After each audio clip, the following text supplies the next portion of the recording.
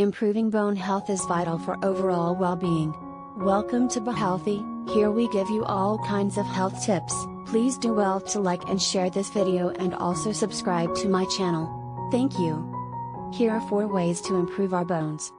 Balanced diet Ensure a diet rich in calcium, vitamin D, and other essential nutrients to strengthen bones.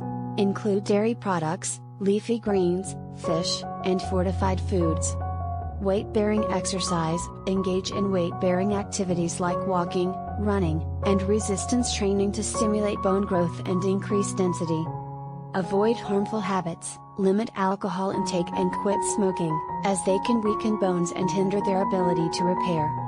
Regular checkups Schedule regular bone density tests and seek medical advice to detect and address bone related issues early. By adopting these practices, you can promote strong and healthy bones for a better quality of life. Thank you for joining us on our health journey. If you enjoyed our tips and want more, don't forget to hit that subscribe button. Stay tuned for more valuable insights and live a healthier, happier life. Remember, your well being matters. Subscribe now.